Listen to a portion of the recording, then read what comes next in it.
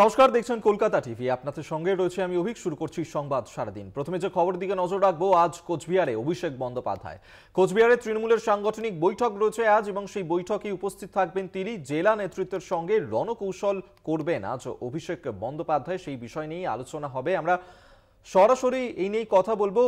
কোচবিহার থেকে আমাদের সঙ্গে রয়েছেন প্রতিনিধি অনুপম সাহা। অনুপম, এই মুহূর্তে লোকসভা নির্বাচন, তার আগে বিশেষভাবে নজর দেওয়া হচ্ছে উত্তরবঙ্গের দিকে এবং সাংগঠনিক দুর্বলতার কথা বারবার সেই প্রশ্নের মুখে পড়তে হয়েছিল তৃণমূলকে। আজ অভিষেক বন্দ্যোপাধ্যায়, তিনি যাচ্ছেন।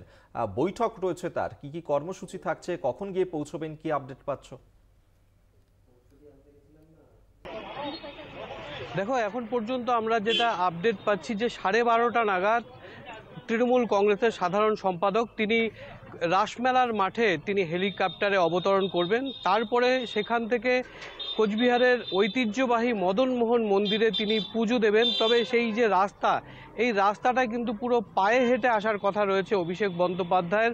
তারপরে এই মদনমোহন মন্দিরে পুজো দেওয়ার পরেই তিনি কিন্তু নিউ টাউন এলাকায় তৃণমূল কংগ্রেসের জেলা কার্যালয় রয়েছে। সেখানে জেলা নেতা ব্লক এবং অঞ্চলের যারা দায়িত্বে রয়েছেন, তাদের সঙ্গে কিন্তু রুদ্ধদ্বার বৈঠক করবেন এমনটাই জানতে পেরেছি।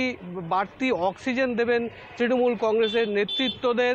তবে এই অভিষেক বন্দ্যোপাধ্যায়ের কোচবিহার সফর ঘিরে কড়া নিরাপত্তা ব্যবস্থা করা হয়েছে। ইতিমধ্যে হেলিপ্যাড মদনমোহন মন্দির এবং তৃণমূল কংগ্রেসের কার্যালয়ের সামনে কিন্তু বিশাল পুলিশ বাহিনী মোতায়েন রয়েছে। তবে এমনি সাধারণ মানুষের সঙ্গে আজকে কিন্তু তার কোনো প্রচার বা এরকম কোনো কথা নেই। তবে যেই রাস্তা দিয়ে তিনি আসবেন বা যাবেন সেই রাস্তায় কিন্তু প্রচুর মানুষ ইতিমধ্যেই ভিড় জমাতে শুরু করেছে। তবে এই যে আজকের যে আহ, অক্সিজেন সেটা কিন্তু বাড়তি একটা একেবারেই তাই এবং অভিষেক বন্দ্যোপাধ্যায় সেক্ষেত্রে আজকের যে সাংগঠনিক বৈঠক রয়েছে সেই বৈঠকে কি কি বার্তা দেন? অবশ্যই সেদিকে নজর থাকবে। আপাতত ধন্যবাদ তোমায়। এতক্ষণ সরাসরি অনুপম সাহা আমাদের সঙ্গে ছিলেন প্রতিনিধি কোচবিহার থেকে। এবং আজই সেখানে যাচ্ছেন অভিষেক বন্দ্যোপাধ্যায়। সেখানে তৃণমূলের কর্মী সমর্থকদেরকে নিয়ে সাংগঠনিক বৈঠক করবেন তিনি।